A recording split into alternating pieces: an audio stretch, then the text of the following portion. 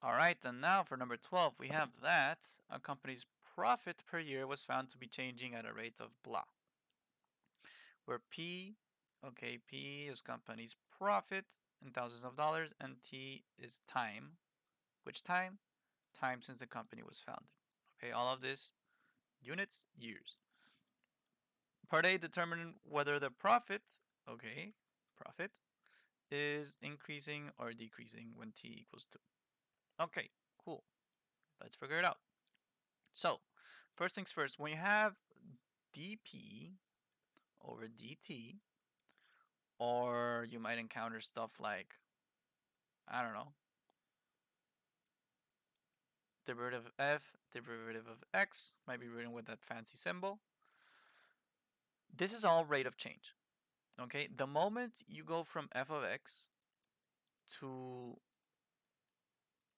the derivative of f of x, or also, which is a synonym in it, So synonym, this down here, okay? This is all now rate of change, okay? And so when you plug in, say, x equals 5 in this scenario, you're saying, what is my rate of change at x equals 5? Ah, okay.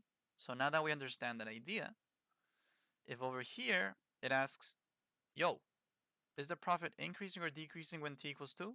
So when the company is two years old, is it increasing or decreasing? Have it got it figured it? Did they figure it out already or not? You gotta take this dp over dt and plug in t equals 2. Okay? So plug in t equals 2. So 3 parentheses 2 squared minus 8 parentheses 2. You end up with 3 times 4 because of 2 squared minus 16 because of 8 times 2. This is 12 minus 16, which gives you negative 4. Okay, so what is my rate of change when t equals 2? My rate of change when t equals 2 is negative 4. Is that positive or negative? It's negative. So you can say that p is decreasing. And what is your argument? There's a couple ways you can put it.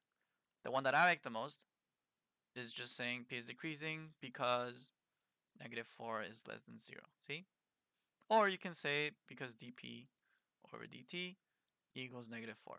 Yeah, this is probably uh, your safer bet. All right, but point is, it's a negative, so then it has to be decreasing. Period. That is for part A. Then they tell us that one year after the company was founded, the profit was four thousand dollars. God dang, bruh. Part B. Find an expression for PT when t is greater than or equal to zero. So notice here we have the derivative of p in respects to t. Okay, if you want to go back to just pt, you have to do the integral. Okay, what do I mean by this? If I have pt, I wanna and I want to go to dp over dt, I have to do da, da, da, the derivative. If I want to go back from dp over dt up here, I need to do the integral. All right, cool. So once I do the integral, I can get back up there and I'm good to go. See? All right, interesting.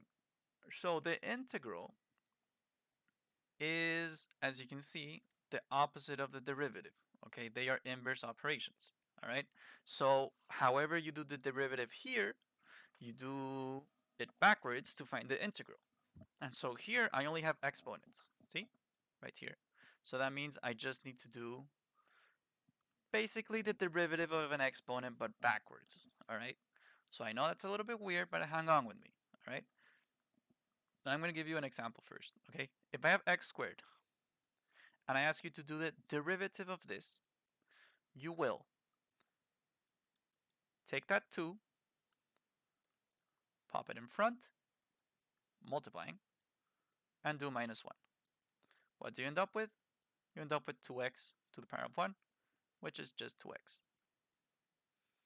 And now, if I ask you to go backwards from here, okay, if I ask you to go backwards from here, because this 2 is down in front, you immediately know that you have x squared, okay? And that's sort of like a big hint, okay, for how to do the integral. See? All right, and now for part B, they tell us that one year after the company was founded, the profit was $4,000. The dime. We need to find an expression for PT when t is greater than or equal to 0. Okay. So as I mentioned earlier, we need to do the opposite of a derivative. See? So, mm, what I have right now is 3t squared minus 8t.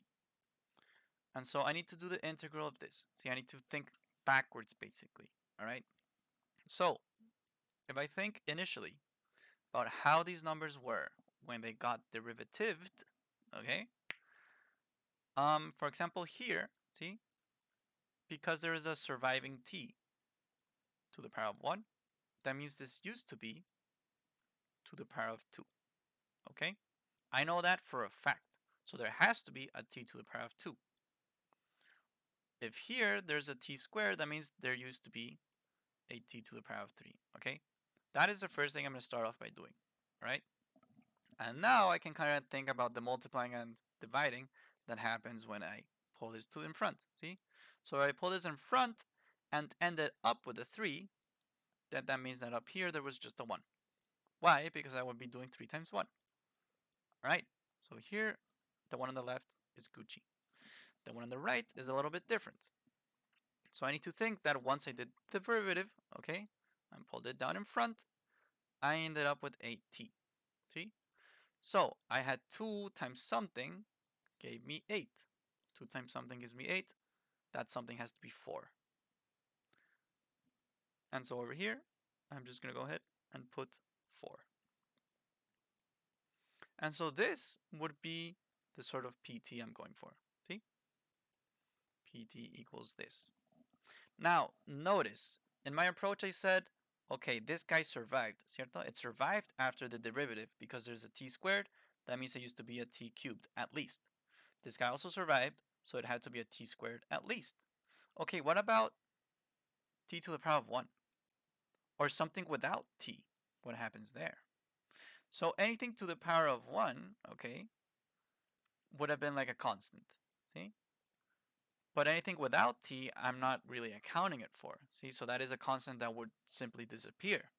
What do I mean by this? If you have f of x equals x squared plus 2x plus 3, and you do the derivative of this, okay, you end up with 2x plus 2, and this 3 disappears. Straight up disappears, consider doing the integral from here. See?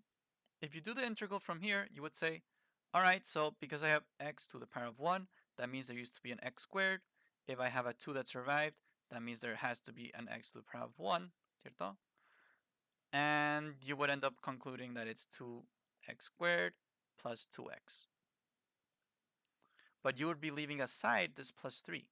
And so what you do when you do an integral, always, always, do not forget, is that you put plus c because this is symbolizes any three that you might be missing, any constant that you might be missing.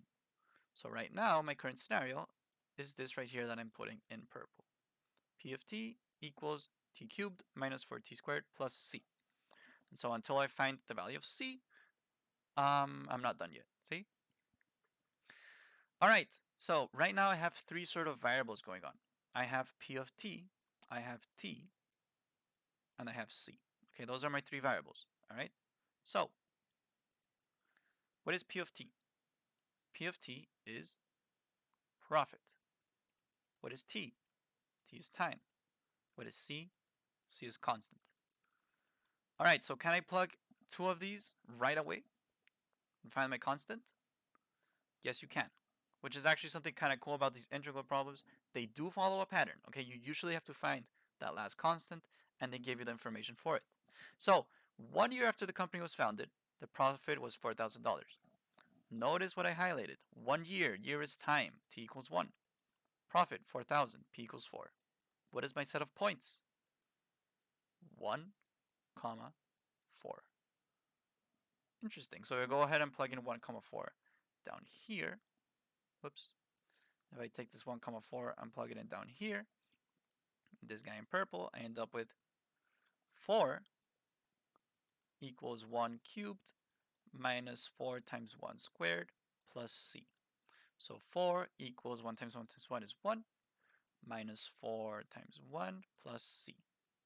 That tells me that we have 4 equals c minus 3, which means that c equals 7. So now that I found that c equals 7, I'm plugging it back to my thing in purple. And my last, last thing that I'm going to do is that p of t equals t cubed minus 4t squared plus c. We said that c was 7. This is for part B. And that is for number 12. I think the hardest part is really, really understanding that the integral is the opposite of derivative. And once you practice a few of those, you really understand that it's not that hard. My biggest tip that I can give is really focus on the exponents, okay? Work around the exponents. Think about what has to happen before and after they get derivative. That is for number 12.